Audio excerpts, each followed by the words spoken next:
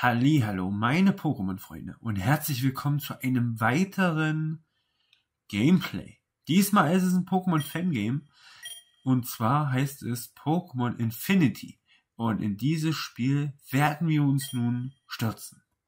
Hey, wach auf! Come on, Kid! Wach auf! Okay. Es ist ein Fangame, noch nicht allzu alt. Uh, can you hear me, child? Ja. Okay. Let's test your memory. Du, achso, anders. Bist du, bist du ein Junge oder Mädchen? Wir sind ein Junge, ist ja ganz klar. Man kann auch Mädchen spielen, aber ich spiele irgendwie mal Jungs. Keine Ahnung. Damit kann ich mich mehr identifizieren. Wow. Ruhig, sachte Brauner. Okay. Erinnerst du dich an deinen Namen? Ja. Cool, das kann ich hier so mit der Eric. Mein Name ist Eric. Das sollte jeder von euch wissen. So mittlerweile. Das ist Professor Wormwood. Und das ist seine Assistentin Lucy. Okay. Und wir gehen jetzt zurück in die Stadt. Du wurdest an eine nahe Stadt gebracht, um dich auszuruhen. Und du bist für ein paar Stunden erstmal weggelegt. Ja, Standard.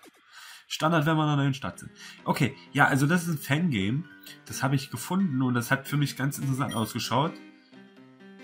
Soll man das lesen? Ja. Okay, das Building auf, auf dem Hügel. Und das hat für mich interessant ausgeschaut, weil ich bin ja ein Fan von solchen Fangames, lol. Also ein Doppel-Fan-Fan. So, also Fan-Fan halt. Und ja, da habe ich eben gedacht, probieren wir das mal aus, das Ganze.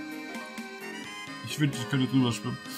Es ist halt auf Englisch also meine Übersetzungskünste innerhalb von ganz kurzer Zeit lassen immer zu wünschen übrig. Deswegen nehmt es mir nicht übel, falls ich auch einfach mal das Englische rausballer. Mein Kopf versteht's, mein Mund kann es nicht umsetzen.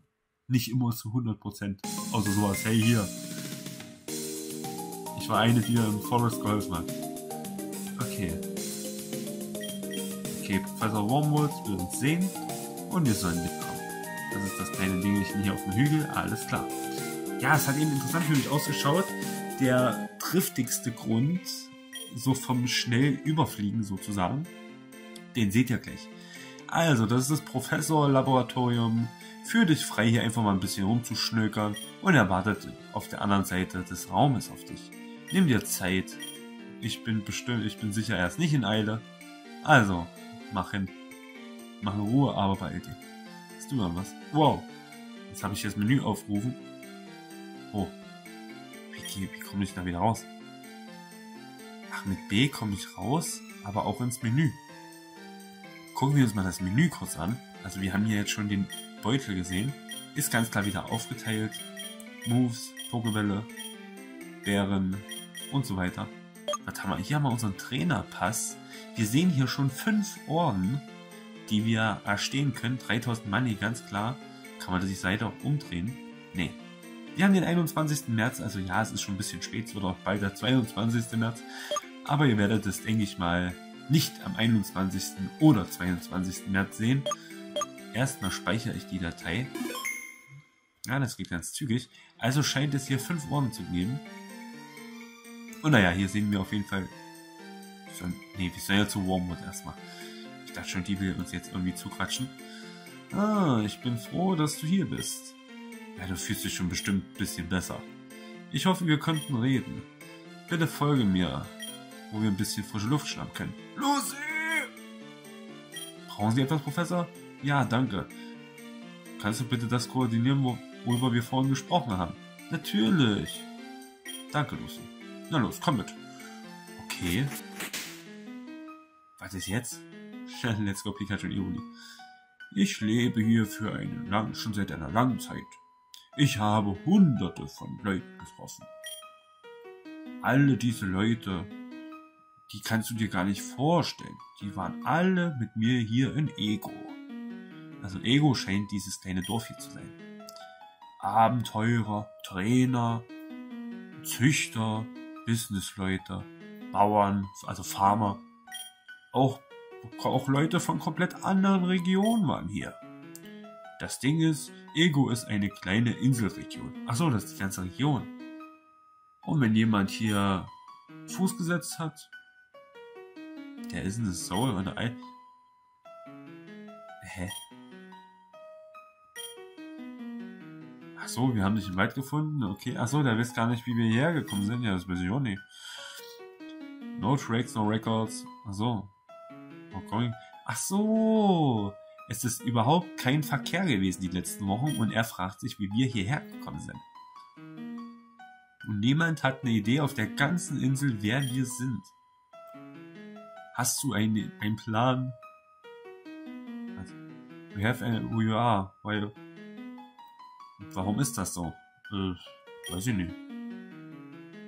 No memories to help solve this mystery. Also wir haben keine Erinnerung und sind hier plötzlich auf dieser Insel gestrandet, die Ego heißt.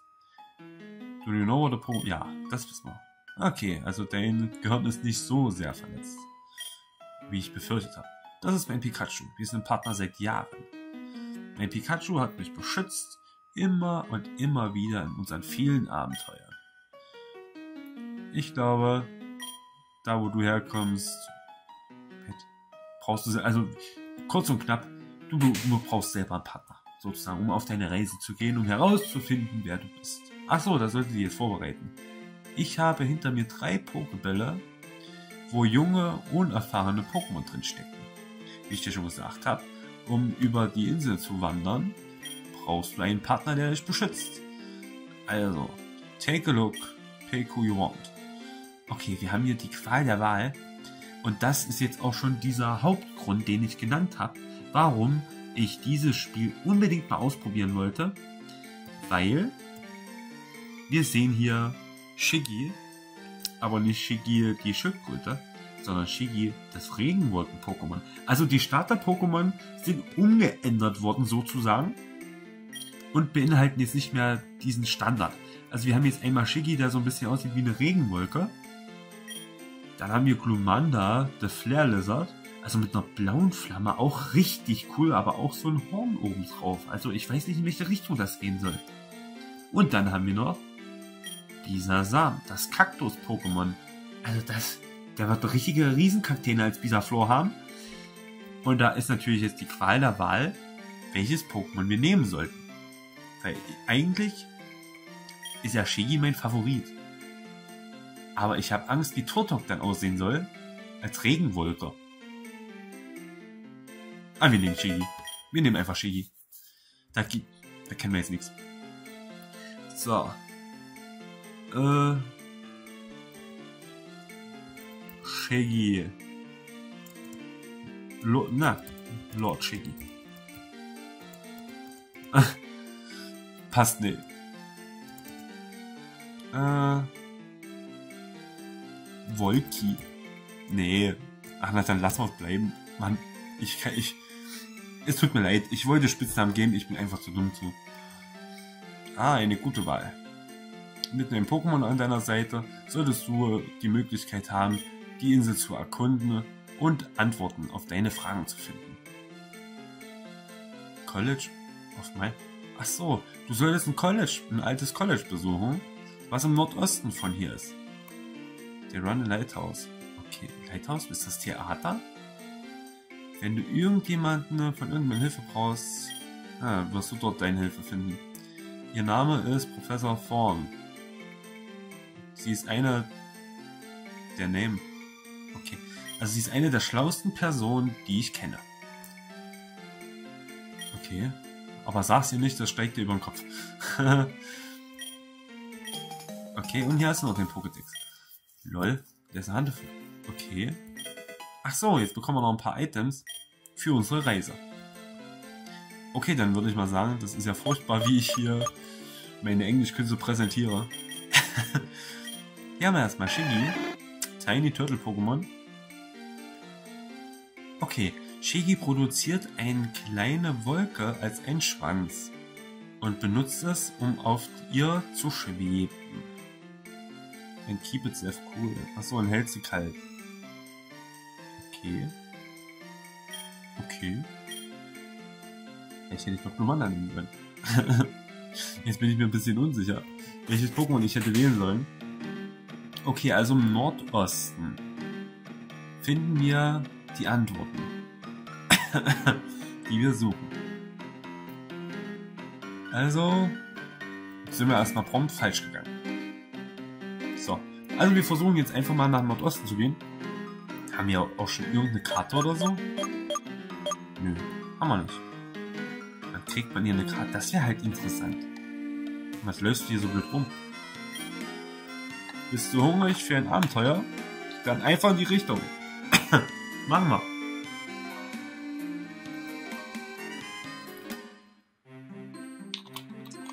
Der Mondsteinweg.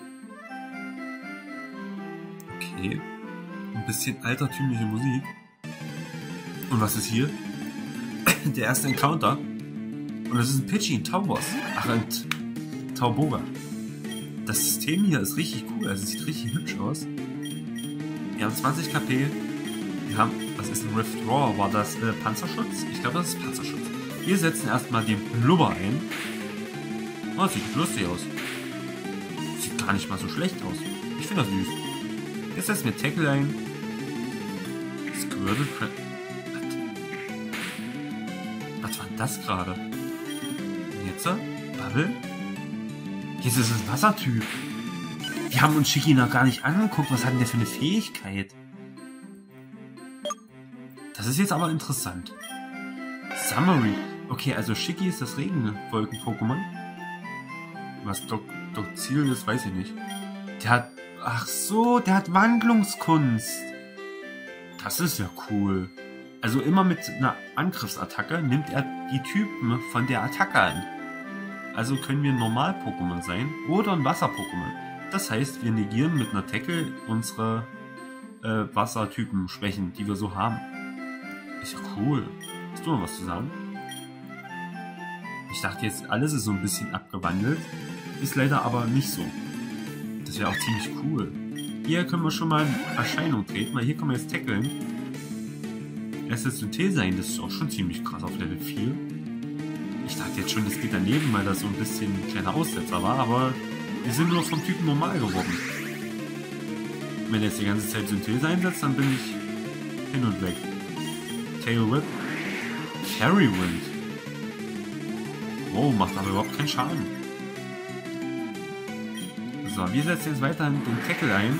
Jetzt wird er nämlich auch eine Synthese nicht mehr so gut funktionieren, weil wir jetzt mehr Schaden machen. Bam. Und erreichen Level 6. Cool. Oh, wir kriegen auch schon richtig dick Werte. Hat Squirtle versucht, die Nimbus-Faust zu lernen. Ja, die Nimbus... Was ist denn die Nimbus-Faust? Bubble hat nur Stärke von 20, das ist natürlich klar. Tackle hat hier 40 anstatt 50. Withdraw ist äh, der Panzerschutz. Was ist Nimbus-Faust? 15? Okay. Sehr wenig AP. Hat Stärke von 38. Step natürlich. A strike of condensed mist strikes the foe, lowering its security. Ach so, also das ist ein, ein Schlag aus Nebel sozusagen. Oder aus Wol im Prinzip Wolkenschlag. Und er senkt die Accuracy ist die Genauigkeit vom Gegner. Na, dann nehmen wir natürlich den Panzerschutz weg. Ich denke mal, das ist das Sinnvollste. Ist ja richtig cool. Haben wir jetzt irgendeinen Trank schon oder so? Ja, wir haben Items mitbekommen. Town Map. Das können wir mal benutzen. Okay, ist das die ganze Karte von dem ganzen Spiel jetzt? Oder also von dem ganzen Fangame? Also denkt daran, es ist kein offizielles Spiel, sondern es ist nur ein Fangame. Den Link von dem Macher sozusagen findet ihr in der Kommentarsektion, beziehungsweise in der Videobeschreibung. Also wir waren jetzt hier, in Haderstown. Was ist das für ein riesiges Ding? Haysport City. Also da werden wir wahrscheinlich mit einer Fähre irgendwo anders hinschippern. Und wir müssen nach hier, nach Zeeridge Town. Was ist denn hier oben? Frostrift. Town Ruins. Okay. Hier sind irgendwelche Höhen. Echo Rock Town. Cool. Wow, hier haben wir schon Fetttränke und alles. Sogar Beleber. Die Berry können wir Squirrel geben. Und da würde ich mal sagen, guck mal einfach mal weiter. Ist das so ein Gebüsch zum Zerschneiden? Ja, Tatsache, das ist so ein Zerschneidergebüsch. Ist ja alles interessant. Oh, hier läuft eine Staralili rum. Will das dann kämpfen? Wow, Tatsache. Ist ja krass, hier gibt es ja so Encounter wie in Let's Go Pikachu und Evoli. Dann setzen wir gleich mal die Nimbus-Faust ein. Wow. Das war schon ziemlich cool. Ich denke mal, wir sollten... Ah, jetzt hat er tatsächlich die Beere gegessen. Wir setzen nochmal die Nimbus-Frost ein. Wir brauchen erstmal ein bisschen Erfahrungspunkte. Tackle sitzt natürlich nicht ganz so. Ja, gut, jetzt haben wir auch Tackle eingesetzt. Aber dass das Wandlung, das Shigi Wandlungskunst hat, finde ich ziemlich geil. Also mal ganz im Ernst, das ist richtig cool. Schreibt mir auf jeden Fall in die Kommentare, wie ihr dieses Spiel jetzt findet, so vom ersten Blick. Ich werde das auf jeden Fall noch weiterspielen. Hier finden wir erstmal ein paar Singlebären. Orange Berries. Ist richtig cool. Es verbindet so auch diese alten Spiele so im Playstyle. Also, wow, das ist aber irgendwie richtig cool. Wir finden einen Pokéball, der aussieht wie ein Pokéball, lol. Wir finden noch einen Pokéball. Also hier liegen überall Pokébälle rum. Leider können wir noch nicht rennen. Das wäre jetzt eine richtig coole Funktion. Weil ich finde, der läuft ein bisschen schleppend. Aber es ist halt immer Anfang im Spiel so. Ja, mal gucken. Das oben wird bestimmt der erste Trainerkampf sein. Der ist so eine weiße Kappe. Oh, Tatsache. Ah, dieser Hut macht, dass ich cool aussehe. Ja, ganz bestimmt. Ja, du siehst richtig cool aus. Und er schickt äh, Starali in den Kampf. Da setzen wir erstmal gleich die Nimbus Force ein. Das ist so unser bester Move, den wir haben können. Damit können wir auch die Genauigkeit im Prinzip senken. Müsste auch funktionieren. Und jetzt setzen wir halt noch Blubber ein. Man muss natürlich jetzt sagen, wir haben leider keinen Sturzbach. Also dass wir dann noch mehr Schaden rausböllern. Aber damit sollten wir eigentlich klarkommen soweit. Aber wir heilen erstmal unser Shigi auf. Ich weiß ja schon gar nicht, wie lange dieser Part jetzt hier geht. So, wir haben ihn schnell aufgeheilt. Ist ein bisschen verwirrend, die Tastenlegung ist andersrum. Greift er uns auch an, wenn wir einfach nur daneben stehen? Tatsache, ich habe ihn jetzt nicht angedrückt. Ist so ein Auto-Angriff-Ding, sozusagen. Wir setzen immer die Nimbus-Faust ein, aber irgendwie senkt es nie die Genauigkeit. Also es scheint vielleicht so 10% Genauigkeit, also ein Genauigkeitsdrop zu sein. Also, wir halten fest, so gut wie nie. Oder so ein ganz hyperaktiver. Der wird jetzt bestimmt auch wieder Beef haben wollen. Ja, ja. Hi, ich liebe Shorts. Die sind so toll, so gemütlich und einfach zu tragen erinnert sich so ein bisschen an der Typ aus, aus den Typen, an den Typen von Feuerrot und Black Blue. Ja, ich liebe Shorts, aber ich bin in den Brennnesselbusch geraten, oder was er gesagt hat. Ah, jetzt. jetzt hat er einen Drop gekriegt. Dafür haben wir einen Critical Hit gefressen. Ist sehr gerecht. Danke. Danke dafür. So. Der Tackle, der trifft. Also da kann ich noch so viel droppen lassen. Das interessiert tut, tut relativ wenig. Danke dafür. So, dafür sind wir Level 8. Ich denke mal, es dauert ein bisschen, bis wir die nächste Attacke bekommen, aber es bleibt spannend, was der so als nächstes lernt. Und wenn er schon eine Nimbus-Faust kann, dann ist es auf jeden Fall interessant, was da als nächstes noch kommt. So, Merchant's Ridge. Ja, also das kann ich noch nicht übersetzen. Ich weiß nicht, was ein Ridge ist. Aber Merchant ist, glaube ich, äh, so wie Händler. Also eine Händlerstraße. Oh, guckt euch mal den Horizont an, wie geil. Wenn jetzt noch die Wolken so vorbeigezogen wären, das wäre jetzt ultra cool gewesen. So, hier können wir Sachen kaufen. Netzball, ein Schwerball, ein Turboball oder Nestbälle. Wie, wie teuer war der Nestball gerade? Ach, auch 1000, okay. Nur der Schwerball kostet 300. Aber ja, Schwerball funktioniert nur bei ganz schweren Pokémon, also ist das nicht so sinnvoll. Und hier ist Lucy. Ach so, er möchte uns einen EP-Teiler geben, sodass jedes Pokémon im Team Erfahrungspunkte bekommt. Okay. Okay, danke. By the way, if you catch too many Pokémon... Achso, ja. Also wenn man zu viele Pokémon fängt, werden sie automatisch in den PC transferiert. Ist natürlich klar. Auf geht's nach Seawitch Town. Noch ein kleines wenig. Und ich habe den Pokémon geheilt. Okay, gut dann würde ich mal sagen, diesen Trainer machen wir noch und sammeln das Item auf. Dann ist der Part auch schon vorbei. Der Youngster Joe will mit uns kämpfen. Hat einen Pidgey. Die sollten... Achso, ja, sie hat uns geheilt. Dann können wir auch wieder unsere Nimbus-Faust Nimbus-haft benutzen. Aber ich muss sagen, die trifft gut. Dafür, dass er Genauigkeit 95 hat. Ich habe ja gerne auch mit solchen Attacken mal daneben. Wow, Critical Hit, das haben wir gleich ordentlich erledigt. Die Werte sind irgendwie cool. Ah, jetzt kommt auch die Aqua-Knarre dazu. Ich finde, wir brauchen viele Attack-Moves. Also Bubble und Nimbus Force lassen wir, aber Tail Whip. Also solche Attacken wie Rutenschlag oder Heuler, die bringen immer nur bedingt irgendwas. Muss man echt sagen. Und da würde ich sagen, hier an diesem wunderschönen Horizont speichern wir unser Spiel.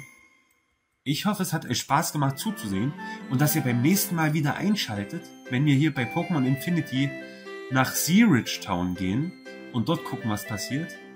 Abonniert den Kanal, falls ihr das noch nicht getan habt, dann verpasst ihr auch Pokémon Infinity nicht und könnt mit mir weiterhin dieses Abenteuer bestreiten. Und dann würde ich mich verabschieden.